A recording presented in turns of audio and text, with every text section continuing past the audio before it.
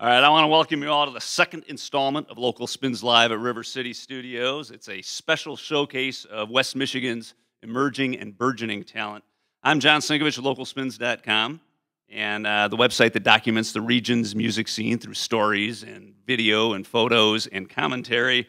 And I'm absolutely thrilled tonight that we get a chance to spotlight the Traverse City Bluegrass duo of Billy Strings and Don Julin with special guest Kevin Gills on bass. Um, I can assure you that this is going to be a rare and rousing night. I've seen these guys perform many times, and this is one reason why they're here tonight.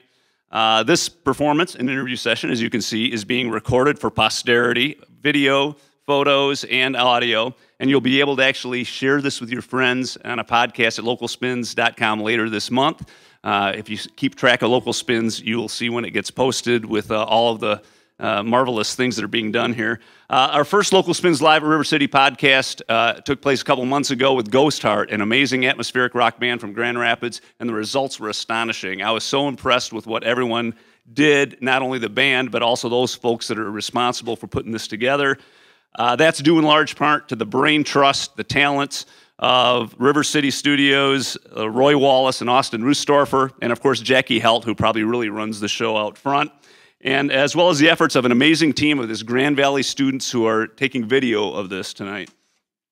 Uh, the idea behind the series, really, from my perspective, was not only to highlight some amazing talent that we've got here in Grand Rapids, Traverse City, Kalamazoo, and elsewhere in Michigan, but also to give these guys sort of their due. They get a really wonderful video out of this. It's really important for us to really uh, pay more attention to what some of these bands are doing. And I think this is a great way to do that. And it's a lifetime, once in a lifetime opportunity for you folks in the audience to see a band like this up close and personal with the audio and the, and the visual thing that you're going to get tonight. It's really something special. And you're part of the audience. So we want you to cheer after the songs. Don't be afraid.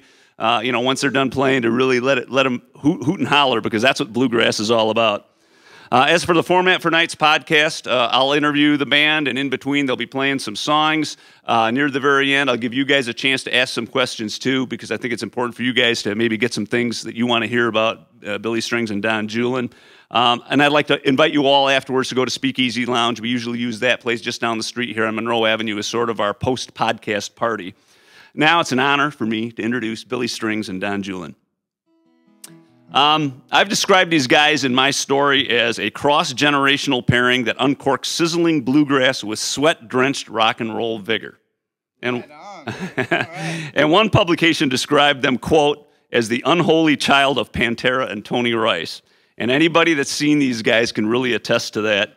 In addition to sparking a buzz nationally, uh, they've toured with the legendary Del McCoury and David Grisman and literally have created a sensation across the region. They've done this in an amazingly short period of time. They've released two albums already 2013's Rock of Ages, 2014's live recording, Fiddle Tune X, which is my favorite at this point. As an example of this meteoric rise, they also recently were chosen to appear at the prestigious Ann Arbor Folk Festival later this month, and that is a pretty big deal. Uh, it's an unlikely pairing. It's a guitarist who's now in his early 20s and a, a veteran mandolin player in his 50s, and they uh, who met at a coffee house in Traverse City a couple of years ago. They got together, rehearsed once, and, and the rest, as they say, is history. So I want to start by asking each of you two guys, um, what is it about bluegrass music that inspires you, and why is it that audiences, as of late, over the last five or six years, have really responded to this acoustic? Very up tempo sort of uh, genre because I've really noticed a lot of younger audiences now really responding to it. Um, I, I, I don't know. There seems like there's this really cool movement going on in music here in America now, where there's where they're calling it Americana, and I think it, in, it includes rock and roll and blues and soul music and R and B, and on the countryside it includes traditional country and bluegrass and and somehow, you know, there's this really cool movement going on introducing the, the, the next generation to this great American music, and bluegrass falls into that category, and I think that's what it is. I think you know, if you could say the same thing about a, you know, a traditional country singer, you know, someone who sounded like Merle Haggard. I mean, it would be people would be interested in that now. I can't tell you exactly why. Sure. You know, maybe there, maybe for the last few years, music has been a little too I don't know what. Sterile. Maybe. Well, I don't know. You use whatever word you want. but but I think maybe that this whole kind of turn back to you know bands with guitars and drums and bass and horns and mandolins and you know I think you know I feel great about it that people are excited about that music. So Billy, what what is it for you? Why why do you get so excited about playing this music? I mean, you you you can't help yourself because you're playing before the show starts and you're playing everything you can imagine. Uh, ever since I was a little kid, that's all I wanted to do was play. So, uh, you know, to me, bluegrass is a music that's earthy and organic. You know, it's not you can't I mean, you can learn it from a book. Maybe you could learn the tunes and stuff, but if you don't have the soul and the feeling of it, you, you know, to me, you're not playing it. It's kind of just a. There's a whole feeling behind it, you know. It's lonesome and it's uh, it's really special music to me. I grew up listening to it, you know. But as far as why do I think there's this whole revival thing going on right now? It always happens, you know. If you think about in the '60s, uh, the same thing happened, you know, uh, with. Uh, you know, for a while there, it was all rock and roll. Elvis, you know, was right. the was the best thing, and the drums and the electric stuff. But then in the '60s, you know, everybody kind of started. They wanted to hear acoustic music again. They were tired of all the loud racket, and all the hippies wanted to hear dirt music. You know, stuff yeah, that came from the ground. So I think that's just you know that's happening again, and well, because it's just great music. Well, you grew up in Ionia. We were talking a little yeah. bit about that and you grew up in a family that played a lot. So you guys would sit around and play music together, is that right? Absolutely, yeah. That's what we did around the house, you know. And like for parties, uh, bluegrass, folk, what kind of music was it? Well, a lot of bluegrass. You know, we played lots of bluegrass. When I was young, I was always, you know, there was always picking parties at my house and stuff. But, but my dad, um, which is who's my main influence, um, you know, he can just play anything. He's, you know, he plays a lot of Beatles and classic rock tunes and stuff like that. But no, we played, you know, it was Doc Watson and Bill Monroe and, you know, Lester Flatt and Earl Scruggs and those guys that I was listening to when I was little. And, uh, well, none of the other kids my age were. so did you pick up, what, how old were you when you picked up a guitar? I was four years old when I got my first real guitar. uh, but when I was three, I had a plastic one and a pick. It was had, you know, had buttons on it and bat, took batteries and stuff. And that's how it all began. Right, yeah. I got my right hand started out. Didn't you recently get one that takes batteries and has buttons on right. it? Yep, I sure did. Now, Don, you actually, interestingly enough, you play the mandolin, but you actually came around to bluegrass music a little bit later. It wasn't necessarily what you started with, right? Well, I played jazz and a variety of music for many years. That's how I made my living for the last bunch of years. And I mean, it's not like I didn't like bluegrass or anything like that. Um, I think it was because more. Because how could that be true? How could that be true? no, I, I just uh, ended up. I fell into a crowd of people that played stuff with more jazz type of harmony, and have spent many years doing that. I always admired bluegrass. I just never got. Um, I never met anybody quite like that before. I guess so. So uh, when we met, it was like, wow, this is really my opportunity to really dig into this stuff. Let's do so, it. So let's do it. Yeah, let's let's quit gabbing a little bit and have you guys play a little music for these folks. What are you going to play for us? We're going to have Don pick pick one here for us, and uh, he wrote this tune. It's called the Albino Skunk, and we named this tune after a, a, little festival down in South Carolina that we played at. So I'd like to give a little shout out to Ziggy and the folks down at the Albino Skunk Bluegrass Festival too, right here. Let's go, Don. You ready, boys? One, two, three, go.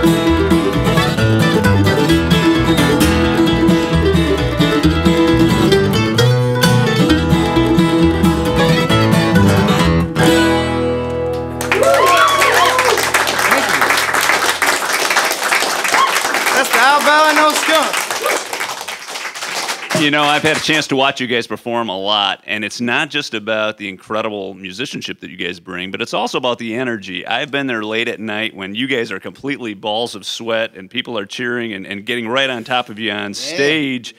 How much of this is improvisation? How much of this is like on the spur of the moment kind of stuff? I don't know, uh, you know, no percentage, but a lot of it is. You know, we know how the tunes go, kinda. We kind of know how the songs go that we're playing, and that's that's about all we got. You know, we kind of just we know the way the songs are gonna go, the verse, the chorus, or whatever. Or if it's an instrumental tune, we know the melody, and we just say, "You guys ready? One, two, three, four. Here we go," and just hang on. The thing is, we're listening to each other. It's kind of a conversation we're having. That sounds like a lot like jazz to me, that you're doing the same kind of thing. You come from a jazz background. Is there some similarities between jazz and bluegrass in that way? we kind of take a jazz approach maybe to bluegrass material. Some of the songs are kind of the same every time, but if you've seen us enough times to know that anything can happen in any song, and uh, you know, at any moment could be this big long jam that lasts 10 minutes and ends up in a completely different song than where we started. And I think that kind of um, freedom to improvise, that I think that's the that's what really attracted me to playing with Billy is that, really that we kind most. yeah we we you know somehow we we just go out on a limb and and for the most part you usually get back. And do you always, do you, you must have fallen off a few times. Oh, right? yeah. Of course, yeah. That's probably I think you know I think that's that's All the most the exciting time. part. Yeah, so, some people refer to that as the NASCAR effect. That's why they come to see us. Nobody goes to watch the cars go around. They want to see a wipeout. I want to see the They want to hope nobody gets hurt, but they want to see a wipeout. We'll and try to the- make I it to the imagine, I finish imagine the audiences inspire you too, because all that hooting and hollering, and there's a certain feeling among among Oh, the that's it, right? man. You know, when I'm on stage and there's people screaming at me, I'm like, yeah, all right, let's do it, man. Let's have a party. And do you guys, uh, how much do you uh, split between traditional music and your own music? Because you guys have done both, right? We do a lot of songs that are public domain and old bluegrass songs, you know, but uh, we've been recently trying to write a lot more of our own stuff.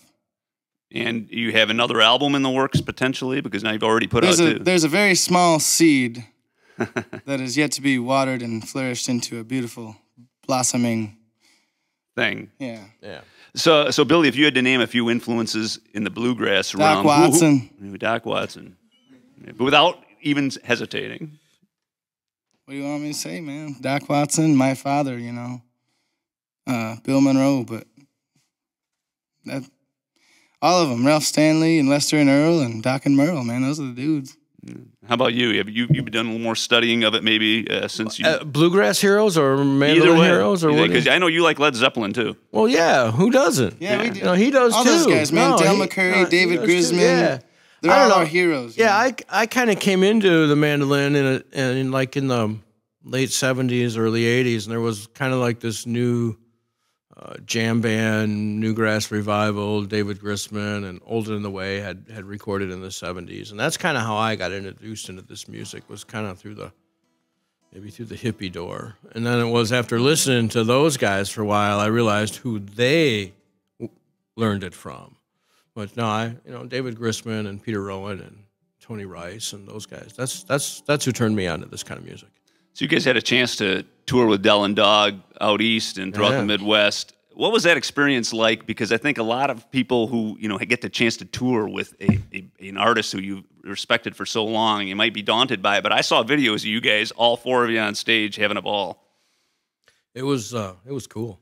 I was I was floating above myself, watching myself sing with Del McCoury. That's what was happening, man. Well, someday somebody, some folks will do that with you guys. So I, I, I'm going to have you guys play a couple of songs in a row here. Uh, you can introduce them any way you want and tell little stories behind it if you'd like. That's great.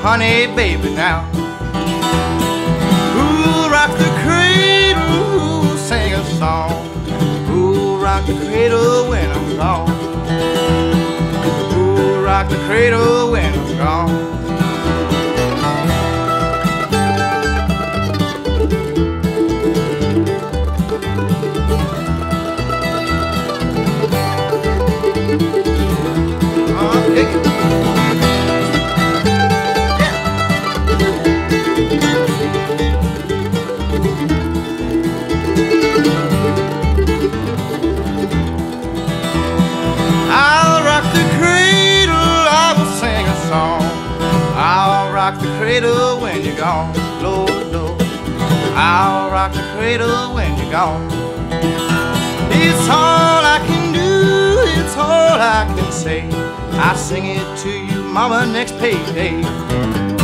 I'll sing it to you, Mama, next payday.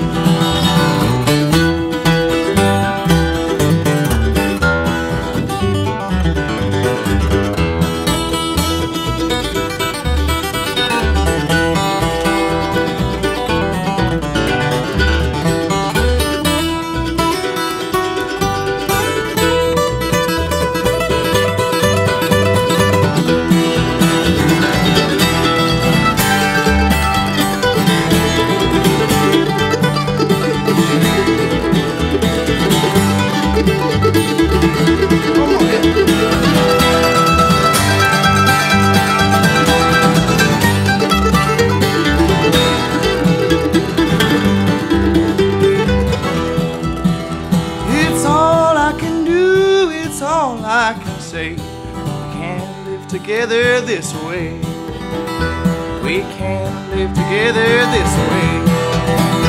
Well, I've got no use for the red rocking chair. Ain't got no honey baby now. I ain't got no honey baby now. I ain't got no honey baby now.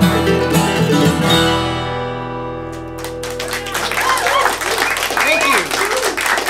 Thank you all so much, man. All right. Well, we'll do this one here uh, that I wrote called Dust in the Baggie. We hope you all enjoy it.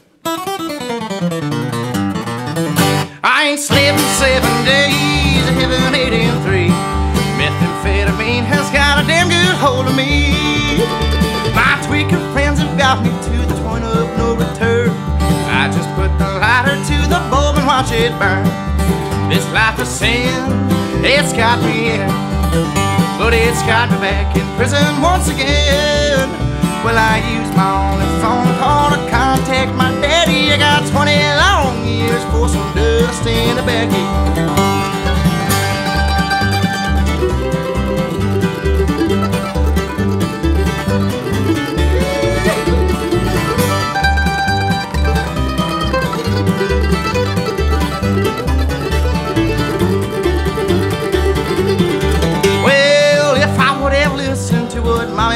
Said, I wouldn't be locked up in prison, troubled in the head. But I took that little pipe and sucked until my mind was spun. I got 20 years to sit and think of what I've done. This life of sin, it's got me in. But it's got me back in prison once again. Well, I used my only phone call to contact my daddy. I got 20 long years for some dust in a baggie.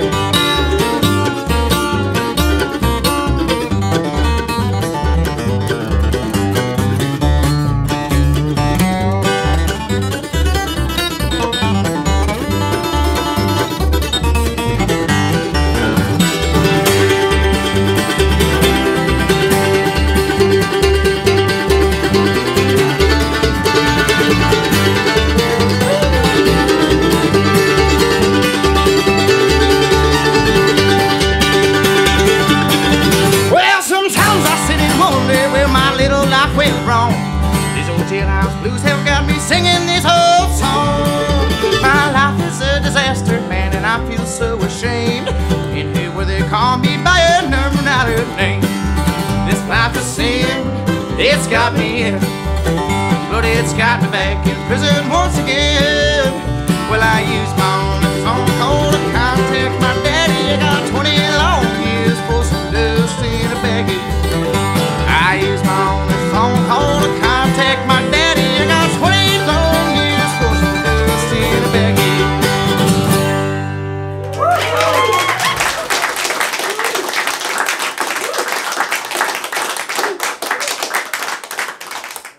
So, is there an explanation for the chemistry that happened between you guys, or is it organic? Organic. It's, it's music. it grows in the ground. Yeah, it's, it's just music. It's one of those things that music. It's one of the magic things music can do. I got a brand new little niece, man. She's not even a year old yet. Her name's Jimmy. I love her to death, and and uh, she loves Jethro Tull, man. she does. I mean, she never heard nobody tell her how to dance or whatever, but she dances. She don't know what dancing is, and she dances. She don't even know how to talk. You know, she just started learning how to walk, but she can jam out to some Ian Anderson. She loves it. What's your favorite record? Aqualung. I would guess. so, you know, how many hours Yeah, how could you not like that? when you were learning how to play, and maybe even now, how many hours a day do you play guitar? Uh, I bet you I play at least an hour a day. If I'm home, I'm gonna pick up something. You know, I got instruments laying all around my house, so I can't get away from them. You know, there's nowhere to sit. There's a banjo or a mandolin or something. So I walk through my house and I pick it up, and then you know, then I keep playing. I, I play for at least an hour a day, and a lot of the days I'm playing a show for more than an hour. So it's kind of a paid rehearsal. Man. And is there advice, Don, you'd have for like younger musicians? I mean, is practice the important part, or is it the passion for the music? Oh, it's both. Well, the passion drives you to practice. Yeah, yeah, and they both got to go together. You got to really want it, because that's you know, because that's what you're going to spend a lot of time doing. M- more than an hour a day. I, I, I hang around him a fair amount. So you know. He, yeah, I would say it's on the more part of that, more than an hour a day. Um, but but no, it's got to be something that you really love, and you got to be so passionate about it that you want to find out, you know, what makes it tick, and what makes this player sound like this, or what makes this music sound like this, and it's a lifelong study. It's boundaryless, you know. Yeah. There's no, you know. So- uh, So I think it's a combination. You know, once you find the right person, that music is it, and then they just spend their life doing it. Then that's the that's the language. I think that's what what we have in common. We're thirty some years apart age wise, but I think we both are just so into music, and we both are just into it. And And you know, I imagine that means when you're on the road a lot, and you've been on the road a lot. What do you guys listen to in the car, or do you play in the car? all right. John Hartford, uh, the Stanley Brothers. we were listening to John Hartford when we pulled in the parking lot. Perfect. Mostly a lot of John Hartford, man, because I don't know. There's something about his like he'll just mix it up with some poetry and stuff. And when you're just driving for six hours, man, we listen to a lot of John Hartford and Stanley Brothers and Bill Monroe. You know, All the- Kanye West all- doesn't come on the speakers at any point. no no, no. it doesn't. I don't think it does. No, no. Sometimes when we unplug the iPod, it might be on a station or something. Ah, turn that shit on. Uh, and how do you explain the Traverse City thing? Because a lot of people will say, "Where? How does a bluegrass band like this come out of Traverse City?" I mean, I understand it because I've seen a lot of rootsy music acts coming out of that area. But there is something going on up there with the water or something because I'm seeing some amazing musicians. I up moved there. up there, man. Yep. Yeah. And- people are we're, we're attracting people. We're attract. I, I'm an old time local from there, and and there's always been a good amount of players up there. But I think when the economy shifted over the last few years, and now that the dust is settling, Traverse City's looking like a good place for uh, musicians to be. So no, you got some of the stepping in it guys moving up there. and- Oh, Yeah.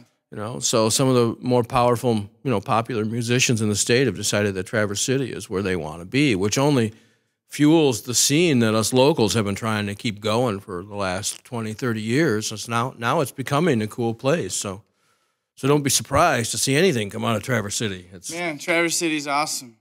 It's it's great. Do you guys feel like you're ambassadors for that area and for Michigan in particular when you get outside the state, I don't know what that word means. What like a representing? you know, Oh, the state? yeah. Yeah, I love to, man. Of course, when we're on tour across the country, we're saying we're from Michigan, you know, we're from northern Michigan, we're, you know. Absolutely. Yeah. Um, And you guys, somebody actually last night I was at this kind of party, man, and this kid said, "Hey, I li- I used, you know, I'm from Traverse City, and uh, I have all sorts of people that come up to me and give me compliments and stuff." But he said, "Man, thanks for doing Traverse City a solid." and I never heard that before. This happened last night. It kind of blew my mind a little bit. I never heard that. You know, you're welcome. so you guys recently signed with a national booking agency, uh, Crossover Touring. So I'm guessing you've got a very busy year ahead. Uh, what's in store for 2015? Because I know you've already been booked for some pretty big festivals, and I'm sure there's a lot of touring ahead. Well, um, when we pulled in the driveway tonight, um, the email was Grey Fox. So Yeah, we're So- doing uh, lots of uh, festivals across the country. This we're hitting the festival circuit pretty hard. We're you know Rocky Grass. We're doing Del Fest. We're doing uh, just Romp, yeah, we're doing a bunch Wintergrass. of them, and we're really excited about that. You know, uh, looking at our names on the flyers with all of our heroes, like we were talking about earlier, is kind of just like, whoa, really? So we'll see when we get there. You know what happens, but no, we're on the road to Del Fest, man. And and interestingly, I think festivals are great for musicians like you guys because you get a chance to finally rub elbows with a lot of our artists rather than doing your own little gigs where you may not get a chance to see these other guys. Right? Yeah. Oh, sure. Yeah, it's great. It's great to see, you know, to be able to hang out backstage and, you know, to meet, you know, your heroes and the people It's kind are. of bizarre, you know, to think that I'm friends with some of these guys who I worshipped when I was 10 years old. And my and my dad, you know, worshipped his whole life, you know. I remember specifically a time when my father brought me into the room and said, "Sit down, man. This is David Grisman." And he put on a record and it, it was like a big deal. now, make a point. David Grisman does play the mandolin. yes, he does, and Just very so- well. I might Just so you all know. Yeah. Now, what do you guys think of all the adulation you guys have gotten in a short period of time? I mean, getting tabbed to play the Ann Arbor Folk Festival, getting into these other festivals that you're talking about. You guys have had some glowing praise Man. from some big publications across the country. I cannot believe it. We are I just- lucky. I don't even know how to express how grateful I am for all of the encouragement and uh, and and the recent, you know, it's just been it's just been crazy. We've only been doing this for a couple years together, and we work hard. We work very hard on all of it. You know, we don't. Man, we probably spend more time on the other stuff than the music. You know, but but we. I, I don't know. It, I'm blown away. I, I can just say thank you, and that's all. All right, let's hear something else. And after this song, we'll uh, take some questions from the audience. So prepare yourselves out there. All right, man. Here's another brand new one. One, two, one, two, three.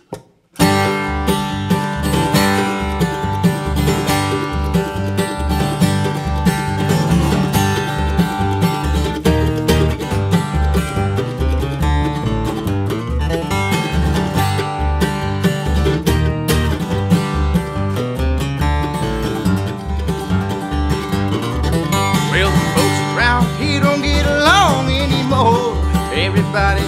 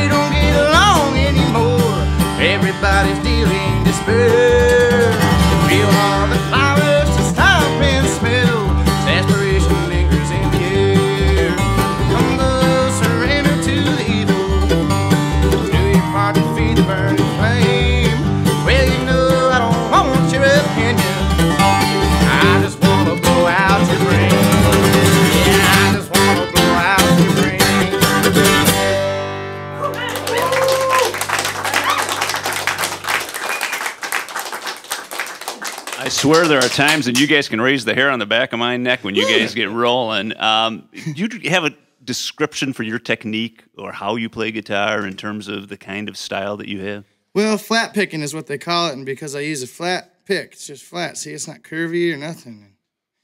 Uh, mostly just going up and down on the strings. I don't know. Uh, yeah, that, that, that's that technique. There you go. Yeah, there- going up and down your the technique. strings. And Yeah. other than local spins live at River City, what's been your favorite concert experience till now? Obviously, it's been two years of fun. man, there's just too many to name. You know, you can't. I mean, from the West Coast to the East Coast, we've had some cool parties, man, and it's That's just pretty been- cool. Just last Saturday night here in Grand Rapids at the at the Winter uh, Wheat. Winter Wheat at the intersection. That was awesome. Yeah, man. You can't even say Wheatland. You know, Wheatland is great to us. We love Wheatland Music Organization and everything that they do over there, and uh, everything. Do you think it's important for musicians such as yourselves to support other groups from this Yes. area? Because the camaraderie that I see in West Michigan, in particular, among Grand Rapids groups, Traverse City groups, everybody's collaborating with everybody else, and everybody wants to see everyone else succeed. You know, that's a you you got it, man. You nailed it. It's a it's a huge family. You know, not just in Michigan, across the country and probably the globe. You know, it's a it's a common language. You know, you get together with five dudes who you'd never met before, and they all play bluegrass. So it's like a fun thing that we can do. You know, and and uh, no, there's a huge network of friends and musicians, and we all help each other. Of course, yeah. It's just, you know, um, it's crazy. It's it's really awesome. We we support all of our friends, you know, and and and vice versa. Yeah. In fact, there's a big conference coming up in February called the Folk Alliance International Conference, and it'll be in Kansas City. Dude, I can't and wait for and and we've arranged a Michigan we've arranged a Michigan room so that we can do just that. We have our showcases and we can try to attract agents and record companies and festival promoters and all those people into our room, which there'll be us, of course, and uh, Laith Al-Saadi and, the, and the Crane Wives The Ragbirds. and the Ragbirds and Lindsay Lou and uh, Great bunch. yeah. What are we gonna call it? The Michigan. It's the Michi- something It's just the? Michigan Roots Showcase Room, but we're gonna and Red Tail Ring too. But yeah, we're gonna go try to represent Michigan on a pretty international level. As well, you should. All right, I want to take some questions from the audience. Uh, stuff maybe you're seeing from this performance, maybe stuff you really want to ask them. Uh, a few questions, just just let them know. Guys, if you would, uh, by the way, wonderful, man. It's great being here with you. Uh, would you introduce your bass player again? Mr. Kevin Gills on the bass tonight. Hey, Kevin. That's right. Yeah, we picked him up. And Kevin, what's your background? How did you get hooked up with these two guys? Well, uh, actually, um, my background has a lot to do with uh, Mr. Don Julin. I've played a lot of different music in Traverse City over the years, and uh, we had a group back in the mid '90s called Big Swifty and Associates, which was uh, no, that's a real thing. And uh, yeah, that one of us was Big Swifty. well back then. You were the bigger Swifty, but I've, I'm catching up. I do what I can. But uh, yeah, we did that stuff, and that was actually one of my first introductions. I was a rock and roll guy. I grew up playing, you know, along with all those Led Zeppelin records and all that stuff. And uh, you know, we had listened to a lot of other cool music. By then, I was interested in a lot of stuff, but that was the first chance I had to, uh, you know, branch out professionally and play a little jazz and a little folk music and a lot of other different kinds of stuff. But you forgot to tell him one of the main things that Big Swifty. Hold on, you get to a microphone. Yeah, you can. One of the one of the one of the main things Big Swifty was known for was we did a lot of Frank Zappa covers on a Well, that was the common denominator. so- There was a couple of us rock So- and roll guys, and there was a couple jazz guys, and there were a couple of folk guys. But the thing that we all had in common is we loved Frank Zappa, and we hated not being in a band where people would pay attention long enough to learn those songs and how complicated they are. So we'd get together at Don's house and practice for a few hours and go home with our notes. So you really cut your teeth by playing Frank Zappa. That's how you became such a great bluegrass player. Well, that helped. Yeah, I think that I think that helps a lot. So Kevin, you know, you've sort of got a more objective viewpoint. Joining these guys and sitting back there and watching them, what is your impression of these two dudes? Uh, well, it goes back to when Bill first came to Traverse City. You know, he kind of blew everyone's hair back even then. He was playing around with a bunch of our different friends. And I remember when he and Don first got together, I play up in Traverse City a lot with a fellow named Joe Wilson. And uh, we have a duo called the True Falsettos. And we got together with these guys and did a few shows where we'd play and then they'd play, and then the four of us would come out and just mash together for a little while at the end. And uh, I think there was one time when Don had a solo spot somewhere else. So we grabbed Billy and threw him in the van and took him down to Fenton to some barbecue to play some bluegrass. Remember that? yeah. Dang. Yep. So yeah, we you know we all hang around in the same town. You mentioned that Traverse City is you know one of those kind of places where people want to see each other succeed. We like hanging out together. You know, we like the same kinds of stuff. And for me, you know, I've been playing with Joe for a long time and doing a lot of other stuff. And Don and I had talked last summer. You know, Joe's hanging around town a little bit more. He's got a young family, and a lot of the other guys I know do as well. And Don was like, you know, we could use a hand out on the road, you know, maybe for this and maybe for that. And, you know, I can handle doing a little sound. I've done that, you know, for a living in the meantime too. And driving the van is no problem. And helping. Found out a way to fit the bass. In the And I, you know, that was the clincher. Most You know, once they found out a way to That fit the really bass in there, then it was real easy. But yeah, no, I've been watching these guys do a lot of these, you know, as you mentioned, the big festivals and stuff like that. So I definitely uh, leapt at the chance to climb in the van and start learning some bluegrass tunes. It's music I've always loved and listened to since I was a kid. And it's one of the few kinds of music I've never had the opportunity to play on a professional level. You know, we'd go do our other gigs and then sit around and play bluegrass on the beach afterwards. You guys were playing 300 chords to three people, and now you're playing three chords to 300 people. That's the way it should work. Yeah. So, so anyways, yeah, it was just sort of a matter of being in the right place in the right time, I guess, more than anything else. And you know, again, being friends with Don didn't hurt. You know, we've had a lot of stuff go on over the years, and always, I've always, I remember even you know when I was just learning how to play jazz after Big Swifty had kind of dissolved, and I had a young family, and I was thinking about that rock and roll retirement plan, and you know how to keep things moving but stay within a certain radius of town. And I remember calling Don and saying, you know, I think I need to take some jazz lessons so that I know what I need to know to be useful to guys like you and uh, get some gigs around town. And around that same time, I got an upright bass. I started playing in an old uh, swing band, and that was the other big catalyst. You know, starting to play more acoustic music and learning my way around on this, as opposed to the old pork chop. And as a stand-up bassist, you always have to measure your vehicles before you purchase them, right? Yep. So, so here you got a, a rocker, kind of a jazz guy, and a bluegrass guy all coming together to play this great music. Yeah, the Michigan stew. Uh, anybody else out here? Uh, go ahead. Tell us about your instruments. What guitar, what mandolin, what bass do you play? And is that did you inherit it? Did you buy it? All right. Uh, How'd you get it? my guitar, uh, I've had it for a couple years now, and this one was built by a fella named Roy Noble. He builds, you know, he used to build guitars, and he built about 20 guitars a year, starting in 1959, and this is one of his. And uh, Didn't Clarence play one of his guitars? Right, yeah, Clarence played one of his, and uh, and uh, it's just a really great guitar. A lot of people say, "Ah, it's a nice Martin you got." It's built kind of after a Martin, mahogany, spruce top, handmade guitar. Can't beat it, man. So, do you have a backup on the road in case? What's that? A backup? I sure do. Yeah, I bring two guitars. And the bass is actually real easy to describe. It's a Pfretzschner German student bass, just a plywood job that I found at Elderly. I went down there and they had four or five of them in the back room. And uh, actually, it's kind of a funny story. There's a guy named Phil Wintermute, who you might remember from the Earthwork Collective and all that. He worked at Elderly and he was probably pushing 60 at the time and weighed all of 120 pounds. And if you know Elderly Instruments, they have a ballroom upstairs that's actually instrument storage. And I sent him upstairs for all five upright basses that they had. You know, he'd come back. Oh, okay, that's. You sure there's no more? Well, there is one. You know, he'd go "Oh, back up the stairs, buddy. You know, so he brought it down, and uh, yep, it's nothing special really. You know, just a student bass from the early '60s or late '50s, but uh, Yeah. it has taken a beating, and it serves me well. And Don's mandolin was uh, built by a guy named Mike Kemnitzer, and it, he grew it. And Mike grew it out of the ground. It's a nugget. Yeah, it says Gibson on the headstock, but if you're a mandolin aficionado, you, it'd be interesting to know that it's really not a Gibson; it's a fake. Um, but normally you would assume a fake would be, you know, an inferior copy, and as it turns out, the guy who built this mandolin is um, Mike Kemnitzer of Nugget Mandolins, who makes some of the finest mandolins available at any price anywhere. So it's worth more money the fact that it's a Gibson, that it's or that it's a Nugget than it would have been a Gibson. It's actually it was built in 1979.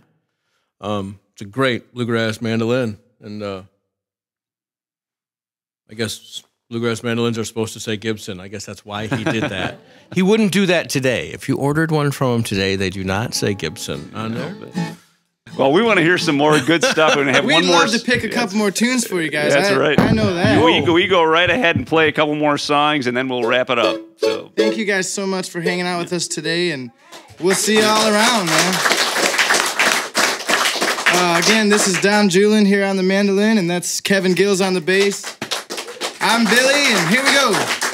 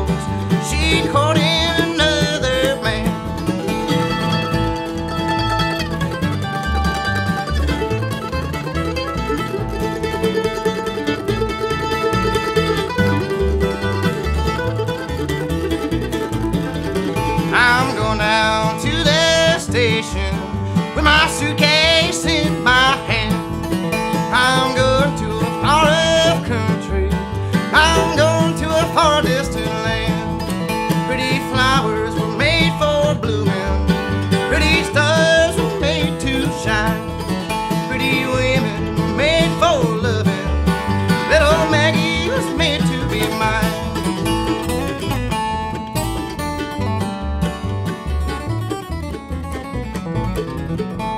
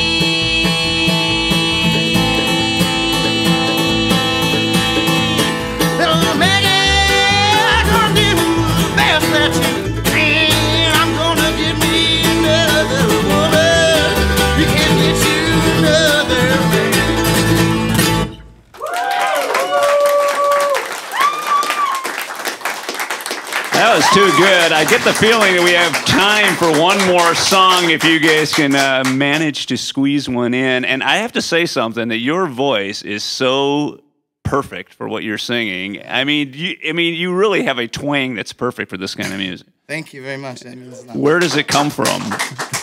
Ionia?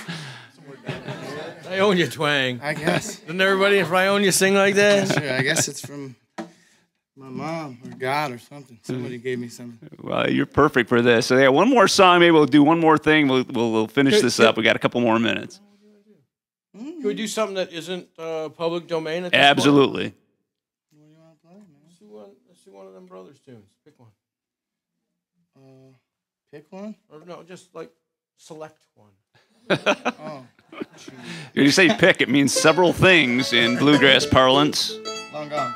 Hold on, let me let me retune. Talk to him for a second. I beat Yeah. it. I beat it out of tune on that. We'll do this one more tune. Again, thank you guys for coming out and hanging out with us today. We, uh, we love you. Thank you very much. We'll try to do this one. Uh, I learned from Reno and Smiley. Little thing called Long Gone.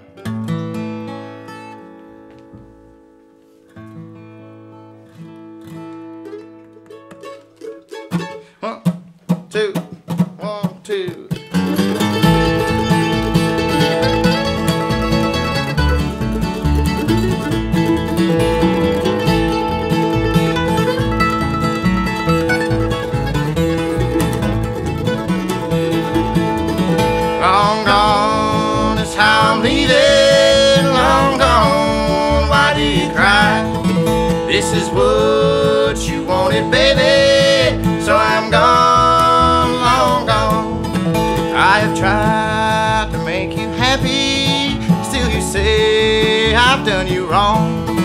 I am giving up my daughter.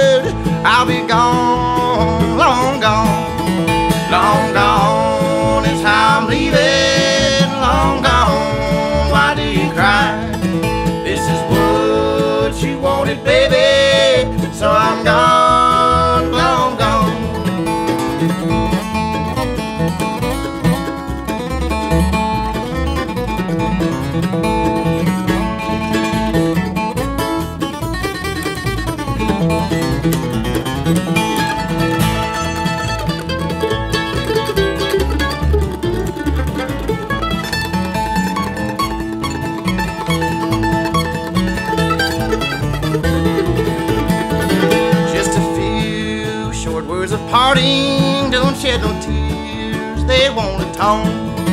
For my things are packed to travel, and I'm long, long gone. Long gone is how I'm leaving. Long gone, why do you cry?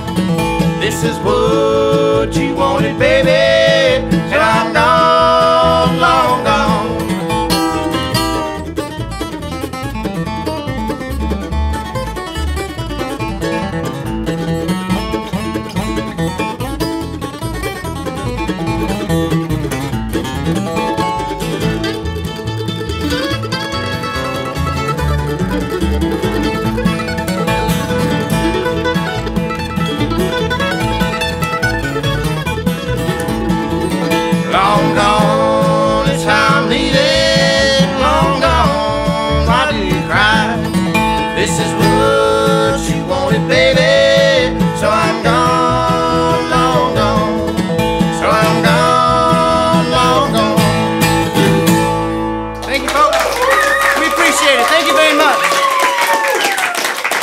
Strings and Don Julin. After tonight, Billy and Don continue their hectic gigging schedule. They're actually on their way to shows in Iowa, Illinois, and Minnesota over the next several days. But if you're pumped up after tonight's performance, you can catch them back in Michigan a week from tonight at Traverse City's Little Bohemia, where they play regularly. Followed on Friday night by a stop at Shorts Brewery in Bellaire, and who doesn't want to be there? And as I said before, they play the Ann Arbor Folk Festival on January 30th, and they'll be back in Grand Rapids to play at the WYC Jammie Awards at the intersection on February 13th. An amazing night of local and regional music. If you've never checked that out, I'm sure most of you have. Eh, There's more than 20 bands performing, and they'll be one of them. Uh, for more information, you can visit their website at billystrings.com. Billy and Don also have merchandise and CDs for sale out in the lobby. And adding to that excitement, there's also local spins T-shirts for sales out there. Uh, I want to thank yeah, Billy and Don and Kevin for making the trip down. The weather was beautiful and perfect for your trip today, so I'm very happy about that. Being part of this special night, thank you all of you in the audience and the folks at River City Studios. Keep an eye on localspins.com over the next couple of weeks. We will have the video and the podcast up along with a story over the next week or so. You can follow us on Twitter and at face, look at Facebook for updates at Local Spins. Thanks again and have a fabulous evening.